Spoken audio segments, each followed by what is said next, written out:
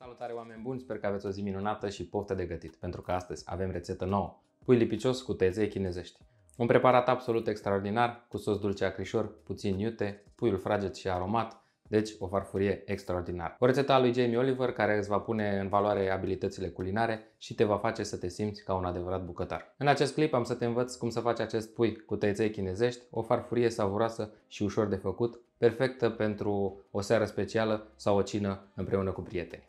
Ingredientele, ca de obicei, le vei găsi în descrierea acestui videoclip, iar pentru modul de preparare nu trebuie decât să rămâi cu mine până la sfârșit pentru că îți voi arăta pas cu pas cum se face această rețetă. O să încep cu carnea de pui. Pentru asta pun pe un tocător o folie alimentară, pulpele dezosate,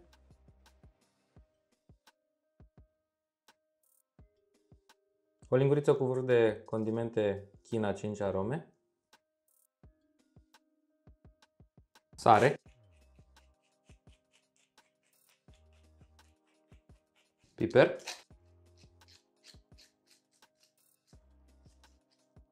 le îmbrac în condimente, pun altă folie peste. Și cu un ciocan de șnițele le bat foarte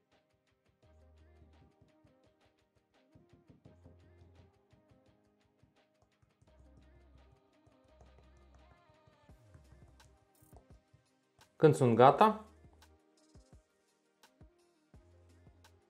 am să pun una peste alta.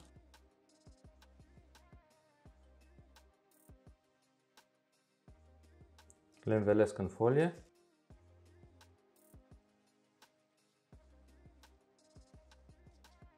Și le dau deoparte pentru 15 minute pentru ca acestea să-și tragă aromele. Între timp, toc uh, o jumătate de varză chinezească în fâșii.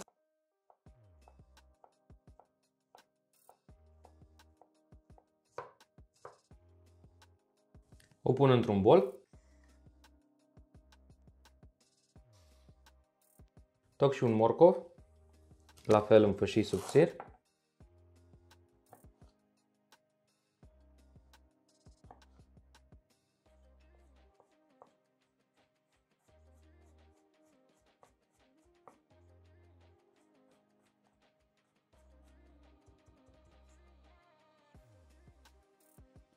Îl pun și pe acesta peste varză. O ceapă.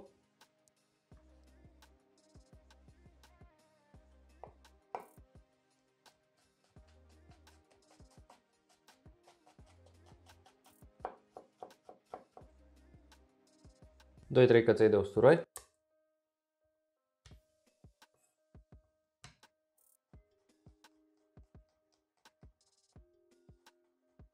Pun și pe acestea din urmă în castron.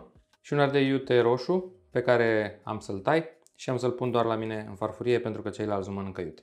Dacă vă place iute, puneți-l în castron cu celelalte legume.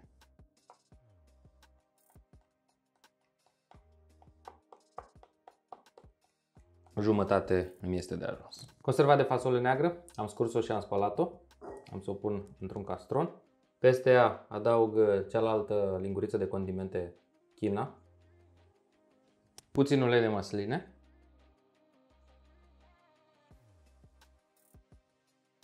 și o amestec cu o lingură.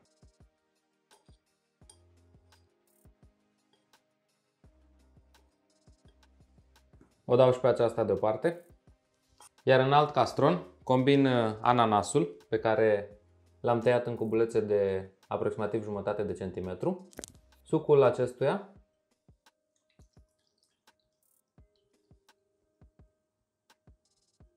nu am să-l pun tot, am opresc puțin. O lingură de oțet de vin alb, o lingură de sos de soia și o lingură de mălai. Amestec totul. Îl dau și pe acesta deoparte. Înainte să prăjesc carnea de pui, am să pun uh, tăieței într-o oală. Apă clocotită peste.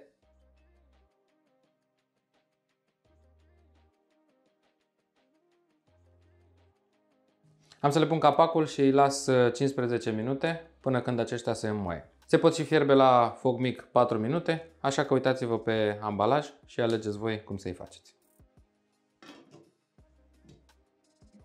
Pun apoi o tigaie mare pe foc, adaug în ea puțin ulei de măsline, pulpele de pui,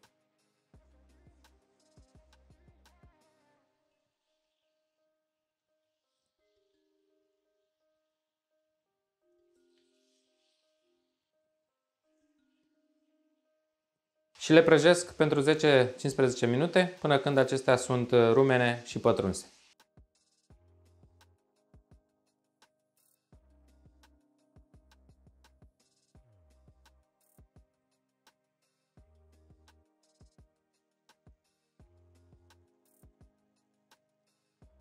Când puiul este gata, am să pun uh, peste el o lingură de miere.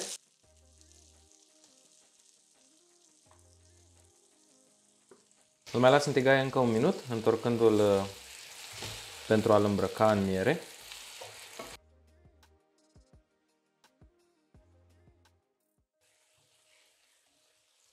Apoi dau tigaia la o parte. Pun alta. O las să se încălzească și pun în ea fasolea pe care o prăjesc pentru aproximativ 5 minute până când bobul acesteia începe să crape.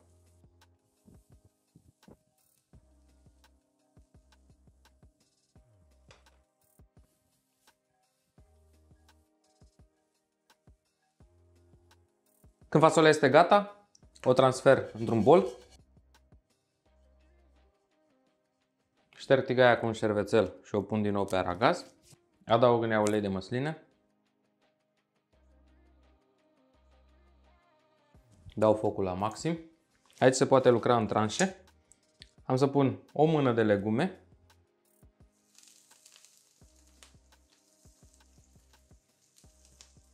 Și pentru că această porție este pentru mine, pun și puțin ardei iute.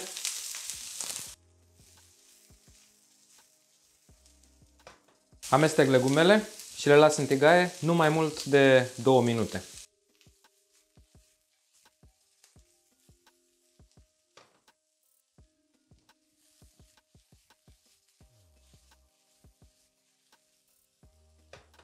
Când timpul s-a scurs, transfer în tigaie tăieței, atâta cât uh, am nevoie pentru o porție.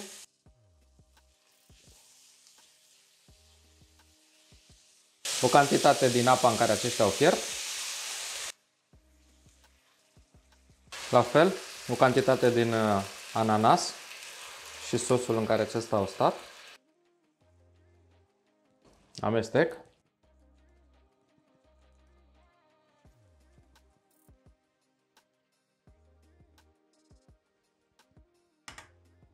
Îl mai las pe foc uh, aproximativ un minut, două. Am să gust.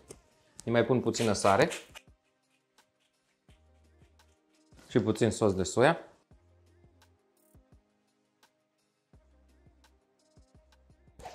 Amestec din nou și este gata.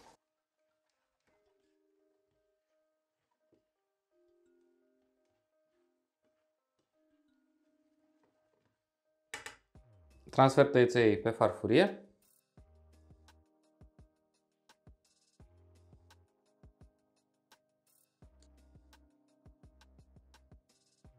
pun și fasole, carne de pui, frunze de coriandru,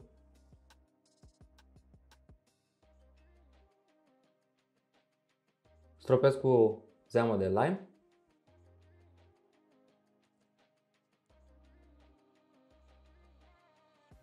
pun și câteva felii de ardei iute. Am să iau acum o furculiță. Și am să gust din acest minunat preparat. Tăieței prima dată. Au un gust foarte bun, o aromă deosebită, sosul este dulce acrișor și puțin iute datorită ardeiului, iar acest pui este excelent. Eu zic că acest preparat merită încercat cel puțin o dată pe lună. Am un preparat extraordinar de bun, sosul dulce acrișor, puțin iute de la ardei, carnea fragedă și condimentată atât cât trebuie, iar aceste ingrediente împreună alcătuiesc o farfurie excelent. Aceasta a fost rețeta de astăzi. Dacă v-a plăcut și v-am inspirat, dați-o mai departe pentru a inspira și voi la rândul vostru. Abonați-vă la acest canal pentru a nu pierde niciuna dintre viitoarele rețete și dacă vreți să mă susțineți, puteți deveni membri apăsând butonul de join. Cam atât din partea mea astăzi. Vă urez poftă bună și până data viitoare, la revedere!